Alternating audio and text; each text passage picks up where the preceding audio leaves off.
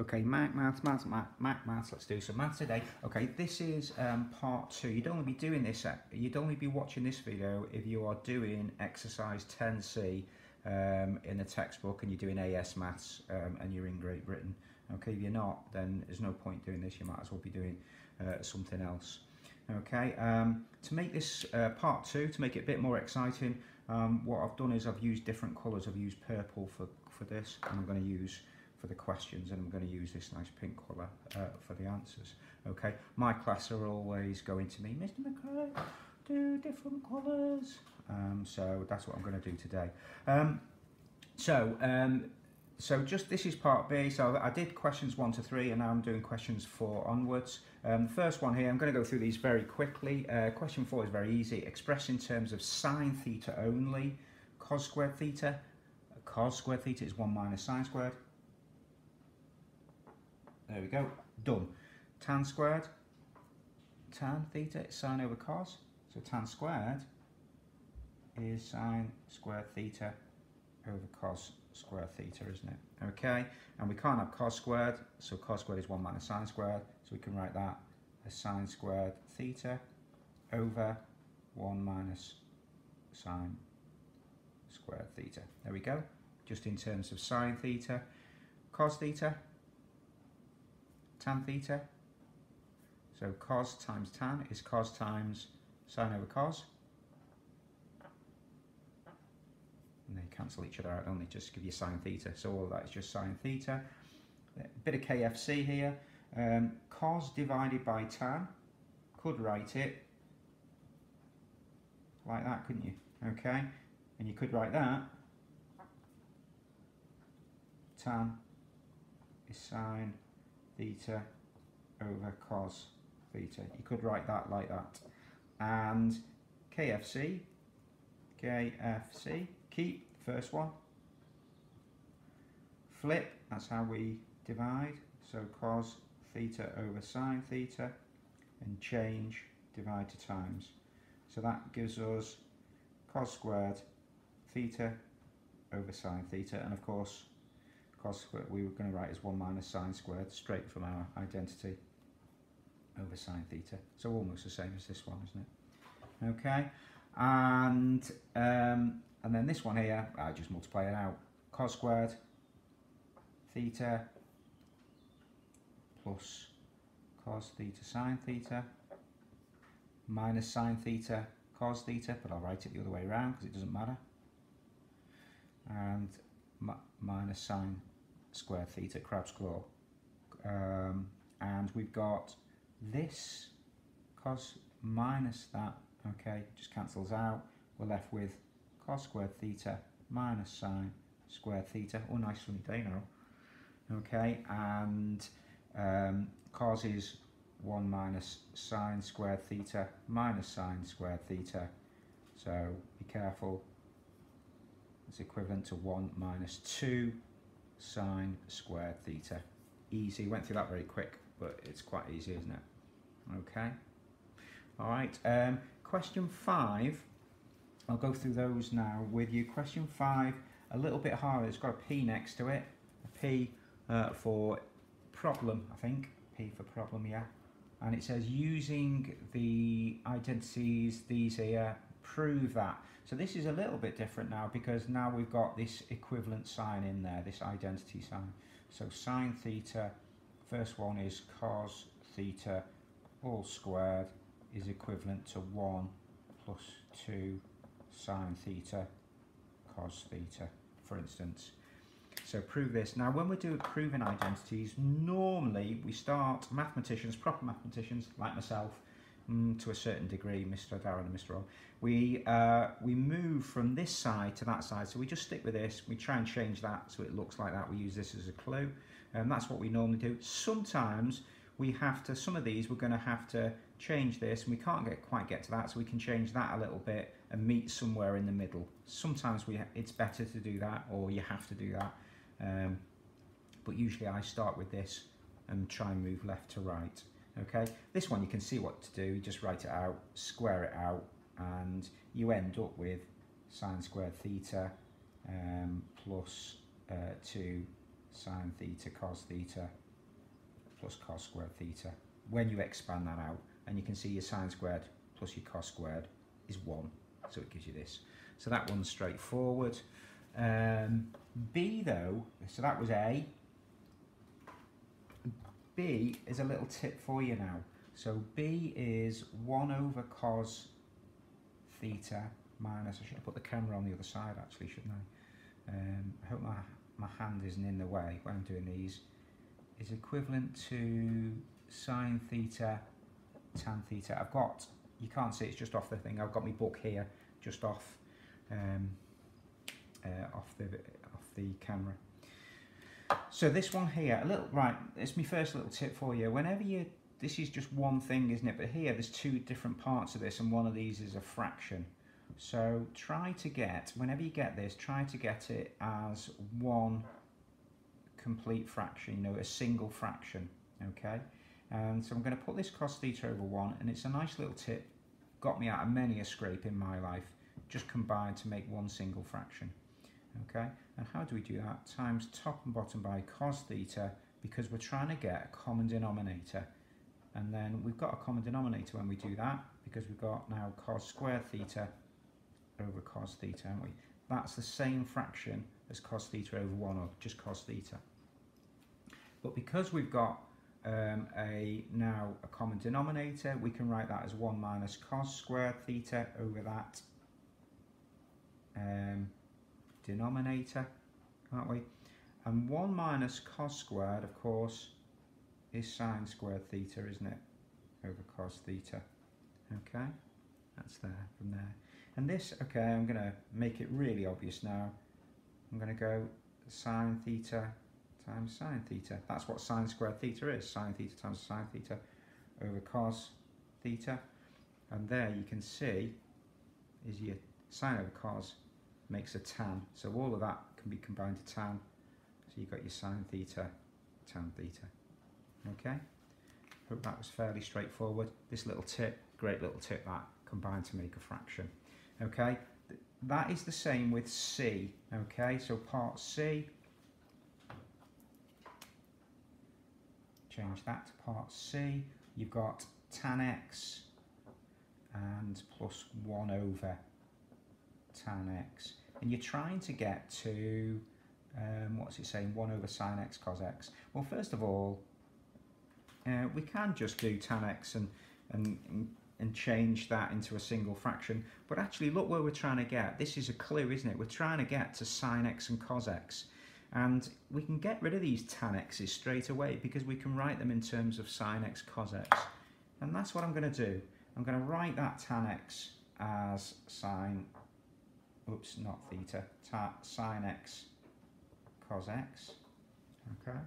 And this here is, as a little aside, 1 over tan x is 1 divided by sine x over cos x invert and multiply becomes 1 times cos x over sine x. So that is cos x over sine x. There we go. Okay, so I did 1 divided by that. So if I wrote it out again, invert and multiply, okay, just flip it upside down. All right, so that's what I've got to from this. And again, I'm going to do the same thing here. I'm going to combine them, that little uh, tip that I've just given you, combine them into a single fraction. My common denominator, you know, this was thirds and quarters, you times them together to get common denominator of 12, don't you? 3 times 4 is 12. So it's just these two times together. So we're going to times top and bottom by cos on this side to keep the same fraction, and times top and bottom by sine on this side to keep the same fraction. And you can probably see this where this is going you get a sine squared x over sine x cos x plus a cos squared x over sine x cos x and when we combine those sine squared plus cos squared is 1 and the common denominator is sine of cos x which was where we were trying to get okay oh that sunshine is lovely okay um, so there we go right I'd like to have a little trip out to a garden centre, but I can't. Social isolation and everywhere's closed. So um, D is easy. I don't need to go through D with you, but I will say something about D. I can see cos squared A minus sine squared A is equivalent to 1 minus 2 sine squared A. Well, of course it is. Um, the cos squared A, you just turn into 1 minus sine squared A, and you get that. That's it. Um, they're just using, again, the, you know, they're playing the old Jedi mind tricks on you here. Um, don't be confused with them swapping at theta for A and, uh, you know, an X and so on. So they're just doing those. So that one's straightforward. Um, e looks okay. Um, just multiplying out that big bracket. You don't need me to do that one, just multiply it out. And you've got sine squared plus cos squared. Okay, um, and they all equal 1. And that'll give you 5 in the end, so that's okay. Oh, G looks... I will do... Um, I will do those other ones. If, if you message me um, on Show My Homework and you can't do those, I'll do those ones as well. But G looks more interesting. In fact, as I'm writing it out now, it's looking less interesting. Sine squared y, and you've got to prove that is sine squared x minus sine squared y. Um, that looks like the difference of two squares there, actually, um, but that might not work. Um, so what I'm going to do is, tip, look at this, where we're trying to get to, there's no causes in there, so let's change that to 1 minus sine squared y. Okay, so we've got sine squared x, how's that? Cos squared x is 1 minus sine squared x times sine squared y. Have I done that right? Have I written that question out right? I don't think I am. Oh yes, I have. Okay, so all I've done is I've swapped that for that and that for that. And it looks now, it looks like this, doesn't it? And we just have to be careful because we've got minus minuses here. Okay, if we multiply this out, you get sine squared x, and that times that is minus sine squared x sine squared y. Got to be really careful here um, I'm just going to put a square bracket. I put that minus is that one there. And then I'm going to do this carefully. Sine squared y minus sine squared x sine squared y. Oops, there's my square bracket. Now I've got this, I'm going to do it all again.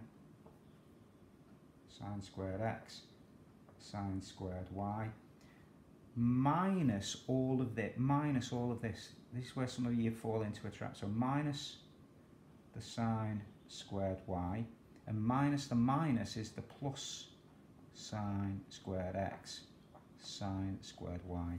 And you can see here, okay, that cancels out, and you're left with sine squared x minus sine squared y, which is that there. So that one's okay. Um, question six, yeah, do them my, question six, do them the way with the little triangle that I showed you. I, I won't do all of those because they're all the same. So 6a, um, find without using your calculator the values of um, sine theta and cos theta when it gives you that tells you that tan theta is equal to 5 twelfths and theta is acute. Okay, so that's question 6a. You've got to find these. Okay, so again, my method, remember, um, is a nice little method here. Just draw the triangle. Um, there's your angle, I think, and you know that tan theta is equal to opposite over adjacent. And there's your opposite, and there's your adjacent. So opposite is 5, adjacent is 12. Pythagoras means that's 13, 5 squared plus 12 squared is 25 plus 144, 169 square root is 13. Um, and now you can just see that sine theta is equal to opposite over hypotenuse, 5 thirteenths, and cos theta is adjacent over hypotenuse, much is that? And that's what it's asking for. Um, you've got to be careful, you've got to use this information as well, okay?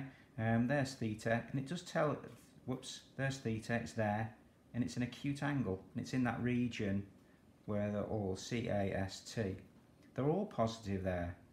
So if it's an acute angle, that's positive. Cos is positive and a sine is positive. So no changes there. Okay. Um, if um, I'll just do one more of those, but so I'll just want one that looks a little bit more awkward. You go in down 6A, B and C all look the same. Okay, I'm going to go to question 8. It's the same, that, block is the same from 6 to 9 are the same. So question 8, just another one, they're all the same. It says that tan this time, tan theta is equal to minus root 3. So there's a minus creeping into that. And theta is reflex. And it wants us to find exact values of sine theta and cos theta.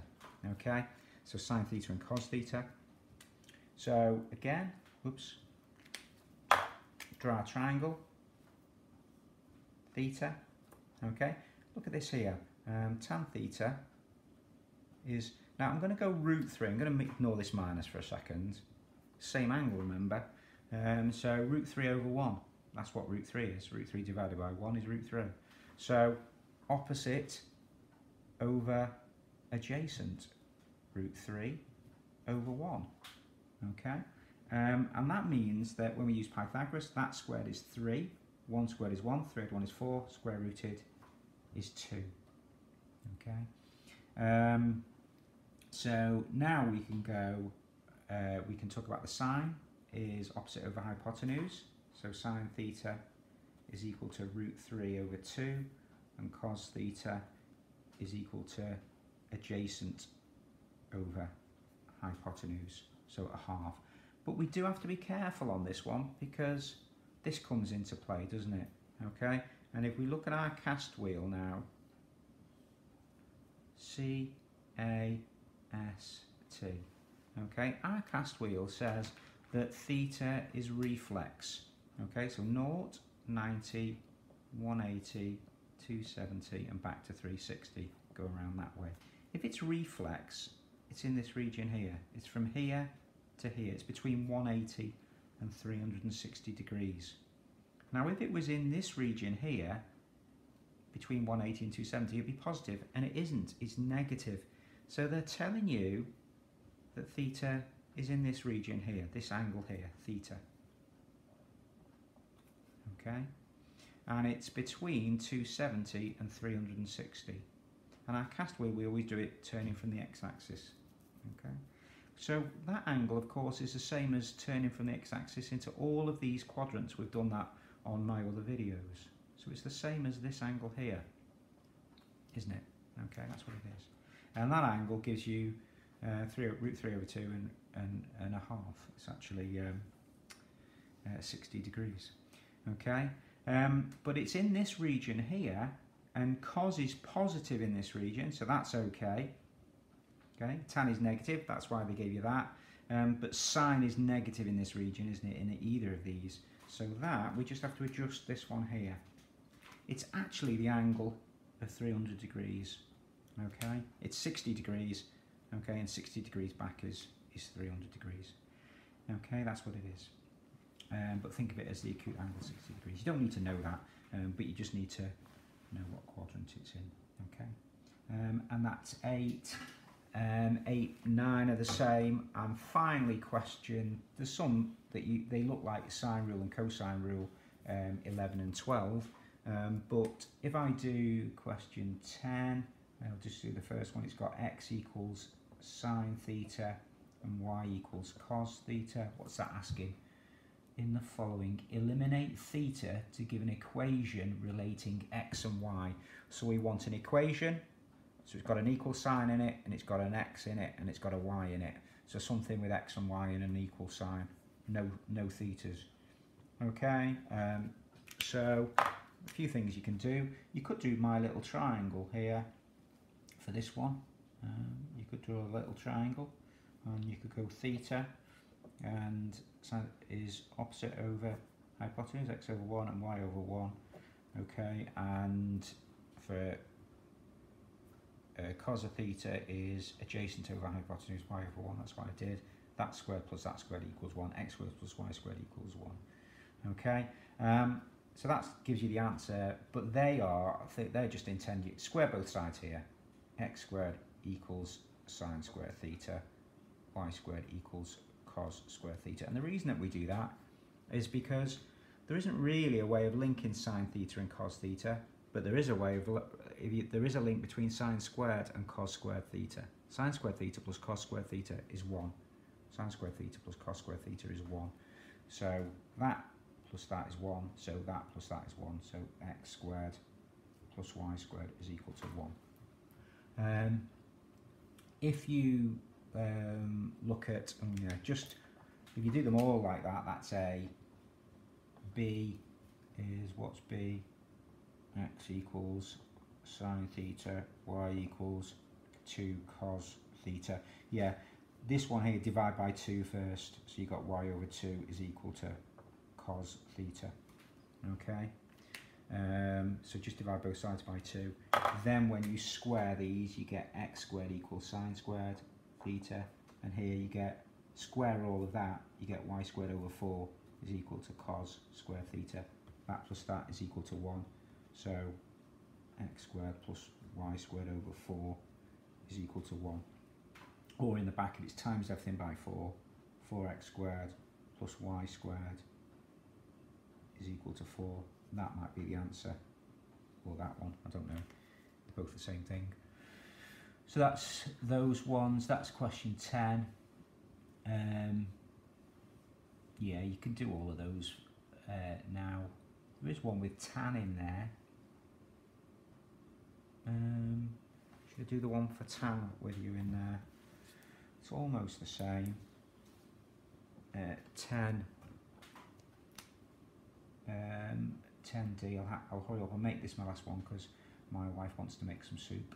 x equals sine theta and y equals tan theta.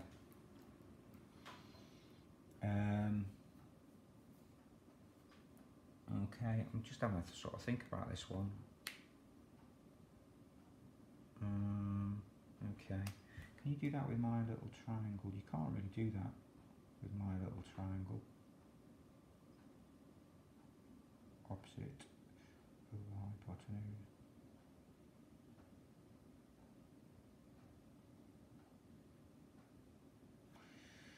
Hmm. Okay, I suppose you can. Um, if we go on this one, x squared equals sine squared theta, y squared equals tan squared theta. Um, if we did that, we can go y squared equals sine squared theta over cos squared theta, couldn't we? We could do that. Um, yeah, I mean, this one, it's not so tidy, this one. Um, you can see that sine squared, we can write that as x squared. If we've got this here, we know that x squared is equal to 1 minus cos squared x as well, isn't it? Because sine squared is 1 minus cos squared. So um, cos squared um, is equal to 1 minus x squared, isn't it? Okay, taking that over, taking that over there. Um, so it's not as nice really, this one. So y squared is equal to sine squared, which we know is x squared, and cos squared is 1 minus x squared. Okay, so that's that one done. That's in terms of x and y with, um, with no thetas in there. Okay, so those those look okay. Um, I'm going to call it over and out now and make some soup. Um, and um, yeah, me sourdough culture is starting to rise, so I can make a, a sourdough loaf as well. Okay, hope you enjoyed um, the support with that exercise. So, like I say, um, only watch this and go through it if you are uh, if you're doing the exercise. Um, if not, Tracy Beaker returns is a good option. Okay, instead. Um, and uh, or pulling wheelies on, on, on your BMX.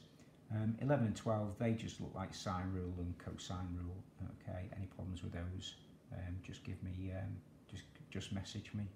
Okay, um, if you want to make any donations to my, I've got lots of subscribers now. Um, I'm a bit of an internet sensation, 23 I think subscribers. That's how famous I am. Um, and you want to donate to my website, just leave um, either sort of you know tins of beans, um, pasta or toilet roll um, or those wet wipes are nice, the, the moist wet wipes for your bottom on my doorstep. Thank you very much. Okay, uh, over and out.